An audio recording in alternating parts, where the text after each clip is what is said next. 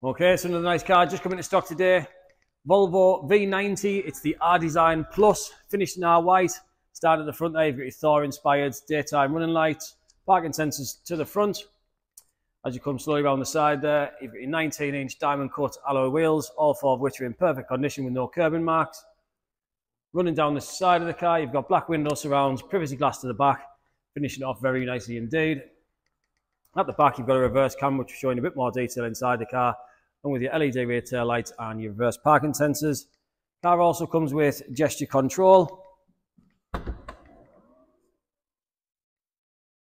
And as the boot opens, inside there, you've got a removable dog guard, and you do also have electrically deployable tow bar. That'll then just lift up into place.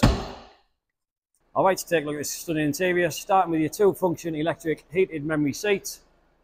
Part leather, part Alcantara. Going on the dash itself, you've got a head-up display, which is a fantastic feature to have. Cruise control, climate control, as I mentioned, heated seats on both sides. All the push button screen. Yeah, just lovely spec car, both inside and out. Okay, so it's fresh into stock. It comes with full Volvo service history. If you've been looking for one of these, don't miss out. It's 01748 889 588.